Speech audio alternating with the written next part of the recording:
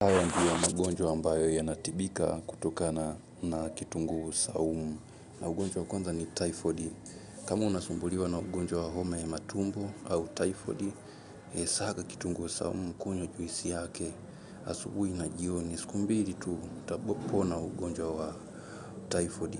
Na ugonjwa wa pili ni ugonjwa wa UTI, urinary tract infection. Kama unasumbuliwa na bakteria wa UTI, tumia kitunguu saumu asubuhi vipande vitatu, jioni vipande vitatu, ndani ya siku mbili tu utakuwa umeua bakteria wote na hivyo kupona ugonjwa wa UTI. Na ugonjwa wa tatu ni minyoo. Kama unasumbuliwa na minyoo pia unaweza ukatumia juisi ya kitunguu saumu au ukatafuna vipande sita asubuhi ya kitunguu saumu vipande sita jioni. Then ndani ya siku mbili ukifanya hivo minyoo yote itauawa na hivyo utapona ugonjwa wa minyoo. Kwa hiyo tumia kitunguu saumu. Na ugonjwa wa nne ni ugonjwa wa kuhara. Kama unasumbuliwa na ugonjwa huu wa kuhara pia kumbuka kwamba kitunguu saumu kinao uwezo wa kuua wale wadudu wanaosababisha ugonjwa wa kuhara. Cha kufanya tumia juisi ya kitunguu saumu fresh utapona ugonjwa wa kuhara. Na ugonjwa wa tano ni ugonjwa wa malaria.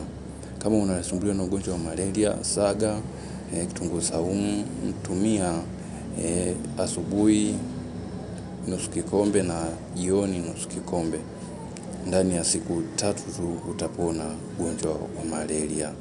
Na ugonjwa wa sita ni gesi kujaa tumboni. Pia kama una ugonjwa huu, kumbuka kwamba kitunguu saumu kina uwezo wa kutibu tatizo la gesi kujaa tumboni. Cha kufanya wewe tafuna vitunguu saumu vipande vitatu asubuhi, vipande vitatu jioni.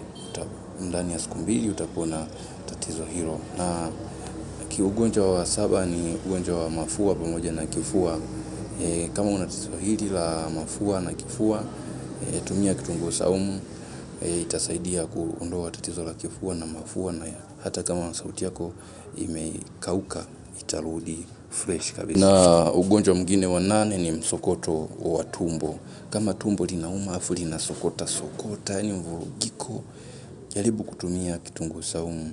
Tumia juisi ya kitunguu saumu. Kama una blender saga fresh kunywa asubuhi na jioni tu msokoto wa tumbo utakuwa umeisha kabisa.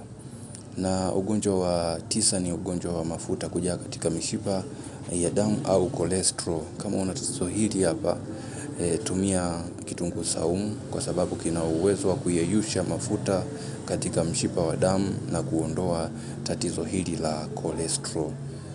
So tumia kitunguu saumu. Na ugonjwa wa kumi ni ugonjwa wa amoeba. Kama unasumbuliwa na tumbo linasababisha na wale amiba wale e, tumia kitunguu saumu.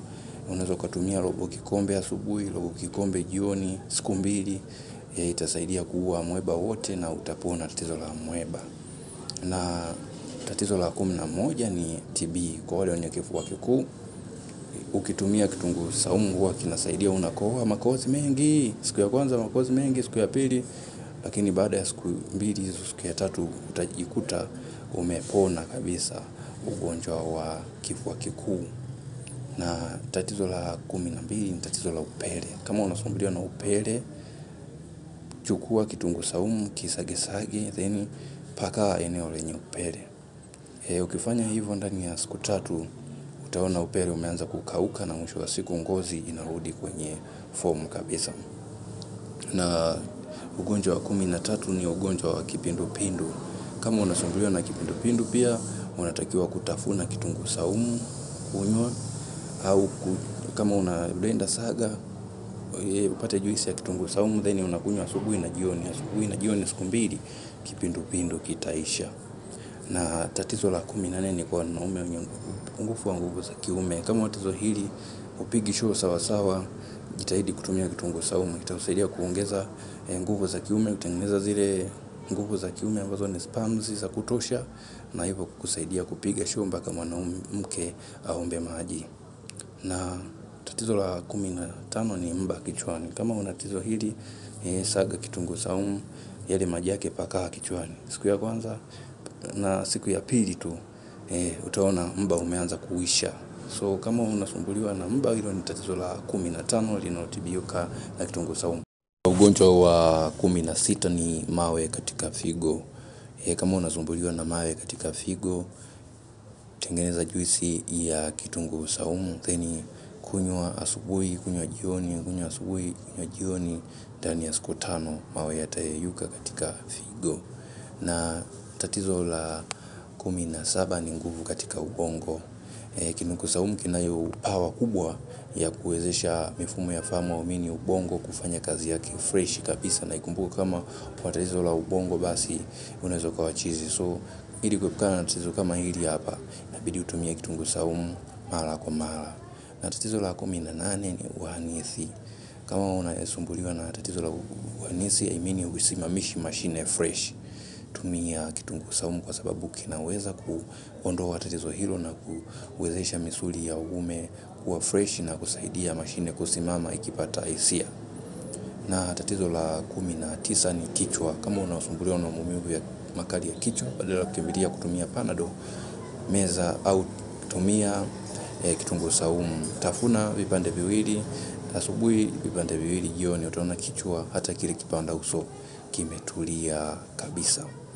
Na tatizo la ishirini ni pressure. Kama una pressure ya kupanda E, tumia kitunguu saumu. Na kwa wale waliotumia kitunguu saumu e, utaona mwenyewe unaenda mara nyingi haja ndogo, mara nyingi haja ndogo basi jua kwamba ndio pressure unaishusha hivo kwa sababu hata ukimeza vile vidonge vya pressure tatizo la kukojoa mara kwa mara ndilo linalopunguza pressure. Na tatizo la ishirini na moja ni kizunguzungu. Kwa watu wanaosumbuliwa na kizunguzungu wakati fulani wanaanguka wanakosa nguvu tumia kitunguu saumu huwa inasaidia kuondoa tatizo la kizunguzungu na kuweka mwili wako ukiwa fresh kabisa. Na tatizo la ishirini na mbili ni meno. Kwa watu wenye maumivu makali ya meno tumia kitunguu saumu husaidia kupunguza maumivu e, ya meno. Lakini pia kama una tatizo la kutoa harufu mbaya bakteria wameathiri meno yako tumia kitunguu saumu kina kemikali ya kuua bakteria katika kinywa. Na tatizo la ishirini na tatu ni kwa wale wanaosumbuliwa kansa ya utumbo. E, Kama unasumbuliwa na kansa ya utumbo tumia kitunguu saumu kitasaidia kwenda kuondoa na kuua vile vimelea vya kansa katika utumbo na kufanya e, utumbo wako uwe fresh kabisa. Na tatizo la ishirini na nne ni uti maumivu katika uti wa mgongo.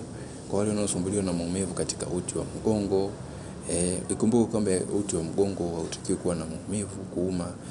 Lakini kama unaumwa tumia kitunguu saumu itapona kuonyesha kabisa tatizo la uti wa mgongo. Na tatizo la ishirini na tano ni kwa wale wenye changamoto ya mmeng'enyo wa chakula. E, Kama una changamoto ya kitunguu saumu kitasaidia kuboresha mmeng'enyo wako wa chakula na mwili wako utaweza kufyonza e, virutubisho bora kutoka kwenye chakula ambacho unakula kirahisi kabisa. Na ugonjwa wa ishirini na sita ni ugonjwa wa watu wanakoga na tatizo la damu kuganda ganda.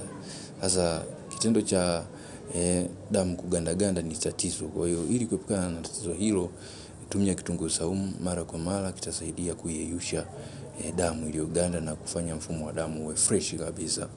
Na tatizo la ishirini na saba ni hamu ya kula. Kwa watu ambao wameumwa muda mrefu wana changamoto ya kukosa hamu ya kula. Sasa ili kupata hamu ya kula tafuna kitunguu saumu asubuhi, tafuna kitunguu saumu jioni. Utakuta circulation ya kuwa na hamu ya kula ipo kama kawaida na unakula fresh bila changamoto yoyote. Na tatizo la ishirini na nane ni kisukari. Kwa wale wenye kisukari tumia kitunguu saumu husaidia kushusha kiwango cha sukari mwilini na hivo kukusaidia ukitumia kwa muda mrefu unaweza ukajikuta umepona kabisa tatizo la kisukari. Na tatizo la ishirini na tisa ni kwa wale watu wenye kinga au kinga pungufu au wenye CD4 za chini. Tumia kitunguu saumu huwa kinasaidia kuongeza CD4. Hasa pia kwa wale watu wanaoishi na virusi vya ukimwi. Kama una changamoto hiyo tumia vitunguu saumu vita speed up kiwango cha kinga katika mwili. Na ugonjwa wa thelathini ni ugonjwa wa uvimbe mwilini. Kama una tatizo la uvimbe katika tumbo, uvimbe sehemu yani una uvimbe haueleweki tumia kitunguu saumu kitasaidia kubalansi uvimbe. Na kama ulikuwa ujui hayo ni magonjwa thelathini yanayotibika kutokana na kitunguu saumu.